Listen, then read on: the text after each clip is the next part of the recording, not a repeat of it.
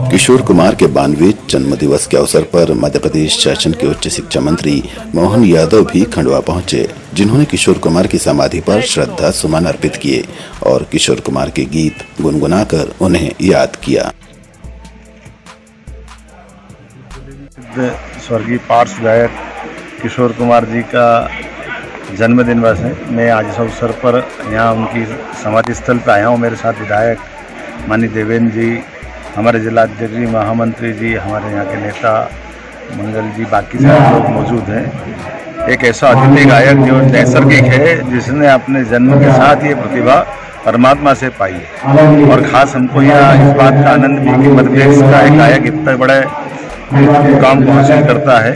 आज 92 जन्म दिवस उनका है, हम उनको स्मरण करते हैं। परमात्मा करे वो हमारे बीच वापस आए और जिस प्रकार से उनने अपनी फ़िल्म योगदान में और गानों की विविधताओं में जो उनका अद्वितीय रोल रहा है वो जन जन की आवाज़ थी। मैं आज के अवसर उनको स्मरण करता हूँ और किशोरदा के तो दुनिया फ़ैन है।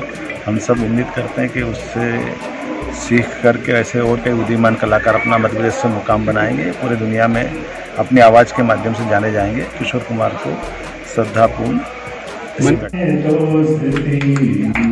हम नहीं Thank